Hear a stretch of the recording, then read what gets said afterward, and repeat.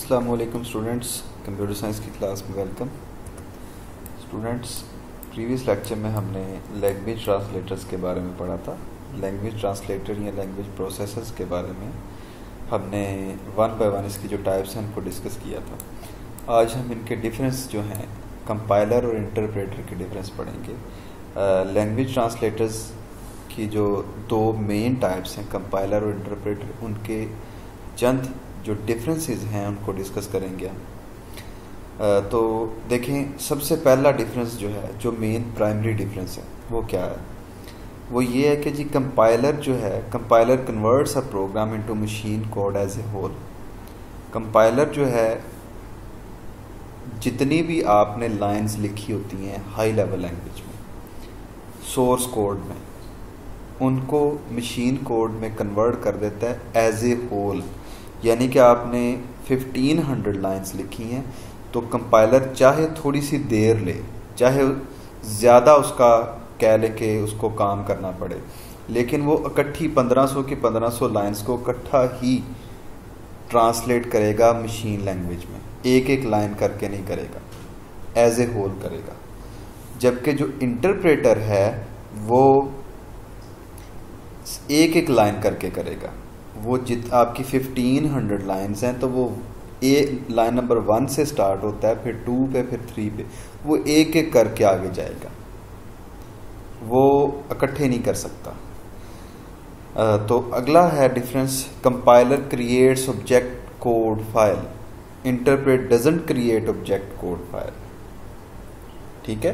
Compile जो जो compiler होता है, वो क्या करता है कि जब एक बार चीज़ कंपाइल कर दी जाती है यानी कि जब हाई लेवल लैंग्वेज में लिखी हुई लाइंस को एक दफ़ा एग्जीक्यूट कर एक दफ़ा ट्रांसलेट कर दिया जाता है तो वो दोबारा करने की उसको ज़रूरत नहीं पड़ती। उसने उसकी फ़ाइल बना दी हुई है ऑब्जेक्ट कोड की फ़ाइल बना दी हुई है। आप इसको आसान अल्फाज में ऐसे कह सकते हैं कि जब उसने तर्जमा किया, उसने ट्रांसलेट किया हाई लेवल लैंग्वेज में लिखी हुई लाइंस का लो लेवल लैंग्वेज में तो उसने जब वो जो उसने जो चीज़ तैयार की है जिस चीज़ का उसने तर्जमा किया है उसने उसको सेपरेट फ़ाइल बना दी है उसकी। दैट मीन्स कि अब कंप्यूटर के पास ऑब्जेक्ट आ ऑब्जेक्ट कोड आ चुका है उसको दोबारा से कंपाइल करने की ज़रूरत नहीं है। लाइक like, एक बंदे को आपने कहा इंग्लिश का टीचर है उसको आपने कहा है कि ये इंग्लिश की कुछ लाइंस हैं इनका तर्जमा कर दें आप। उसने तर्जमा कर दिया। और आपको लिख के दे दिया। अब दोबारा से दोबारा से उस चीज़ को पढ़ने के लिए उस टीचर की ज़रूरत नहीं रहेगी, क्योंकि उसने आपको ट्रांसलेशन करके जो है आपको दे दिया। तो यही काम कंपाइलर करता है। जो आपने लाइंस को कन्वर्ट किया है ऑब्जेक्ट कोड में एक दफ़ा, वो आपकी कन्वर्ट हो चुकी है। आपको दोबारा करने की ज़रूरत मोस्ट प्रोबेबली नहीं पड़ेगी। कुछ सूरतों में ऐसे होता है कि कंपाइल बार बार करना पड़ता है। लेकिन मोस्ट ऑफ़ द टाइम ऐसे नहीं होता। ठीक है? एक मिनट में आपको शो करता हूँ। ज़रा देख लें एक मिनट। जो मैं, मैंने कोड इसमें है मेरे पास। मैं अपना कंपाइलर ओपन करता हूँ। मेरे पास ये पुराना किया हुआ काम इधर पड़ा हुआ है। ये मैंने एक वेबसाइट का फॉर्म जो है वो बना रहा हूँ। बिल्कुल बेसिक सा फॉर्म अभी बना हुआ है। तो इसको मैं आपको दिखाता हूँ। इसकी आउटपुट जो है।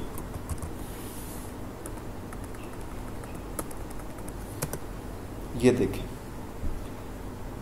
ये ओपन हुआ कंपाइल इसको मैंने देखे कंट्रोल एस किया, इसको रन किया।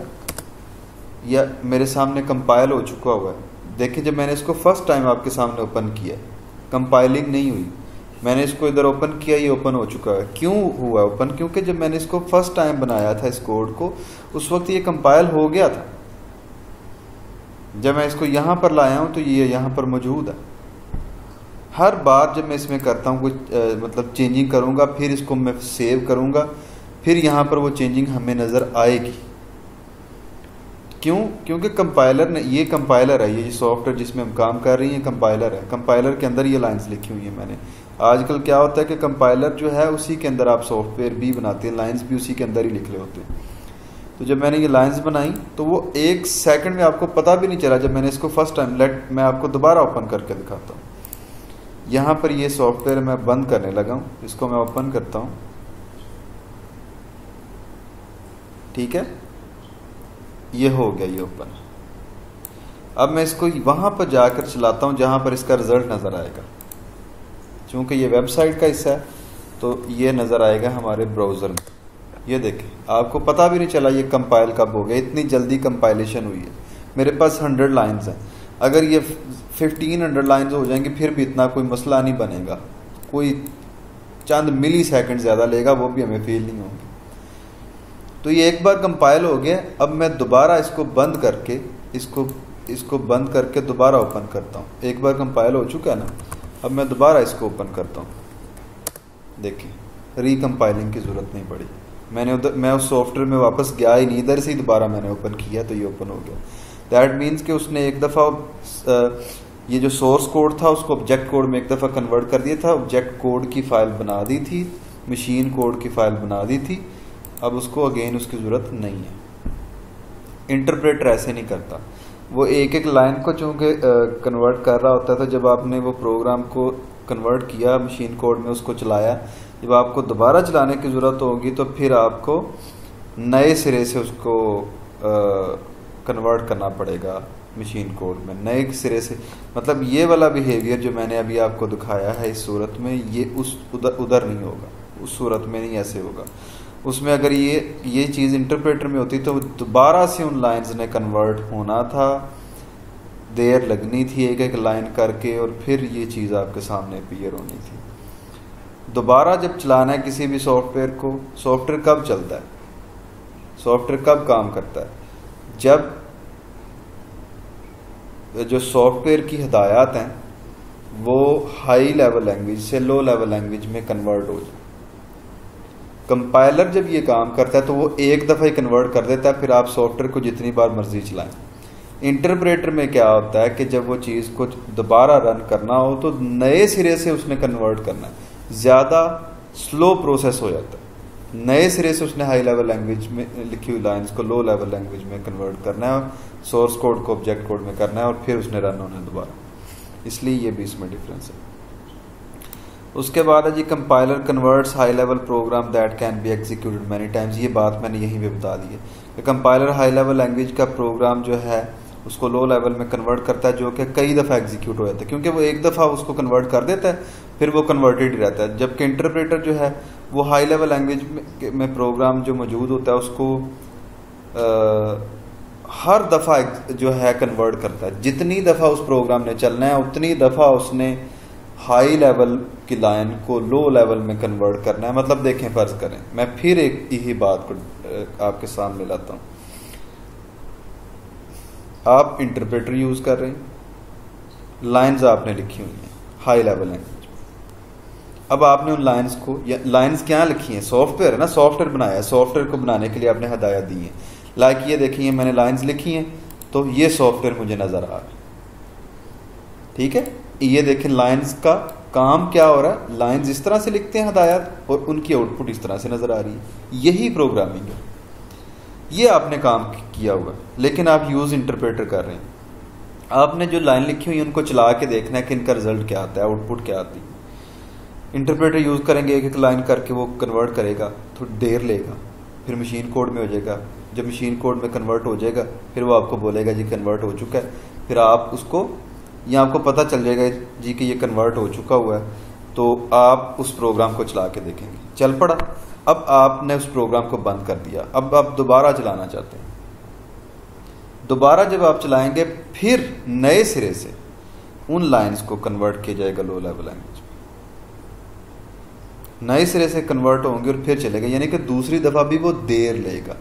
इस सूरत में ये मैं तो कंपाइलर यूज़ कर रहा हूँ ना। देखें, मैंने ये सॉफ्ट एक बार ये कंपाइल हो चुका है, आपके सामने ये आउटपुट शो हो रही है, मैं इसको बंद करता हूँ, दोबारा चलाता हूँ। बूम सारा कुछ आपके सामने दोबारा एग्जीक्यूट हो गया। ये कंपाइलर का कमाल है इंटरप्रेटर में ऐसे नहीं होता। इंटरप्रेटर में इसने दोबारा उसको कन्वर्ट करना था और फिर आपके सामने शो होना था। तो ऑब्वियसली चौथा जो डिफरेंस है, वो यही है कि कंपाइलर के थ्रू एग्जीक्यूशन फास्ट होती है, क्योंकि एक दफ़ा कन्वर्जन हो चुकी होती है तो दोबारा जब आपने उसको एग्जीक्यूट करना होता है तो ज़्यादा देर नहीं लगती, जबकि इंटरप्रेटर में एग्जीक्यूशन स्लो होती है। उसके बाद जो है, हमारे पास आता है जी कंपाइलर सिंटेक्स एरर जो होता है, वो एंड पे शो करवाता होता है। कोई एरर आ जाता है तो वो सारे प्रोग्राम को एग्जीक्यूट करने के बाद आपके पास 500 लाइंस हैं 700 लाइंस हैं वो एक बार ही बताएगा कि ये मसाइल है। ठीक है?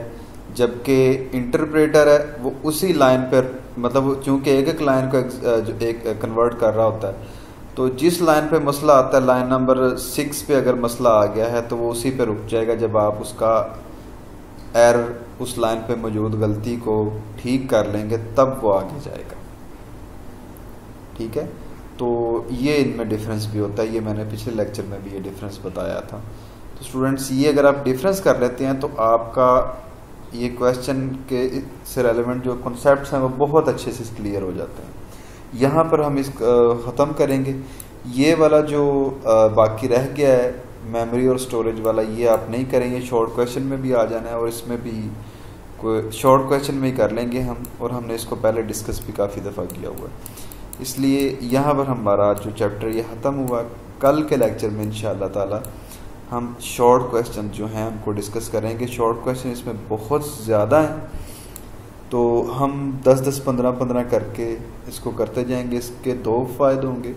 सेपरेटली आपके शॉर्ट क्वेश्चन भी तैयार होते जाएँगे और आपका जो, आपने जो चैप्टर किया है वो रिवाइज भी होता जाएगा। तो आज के लिए इतना ही स्टूडेंट्स थैंक यू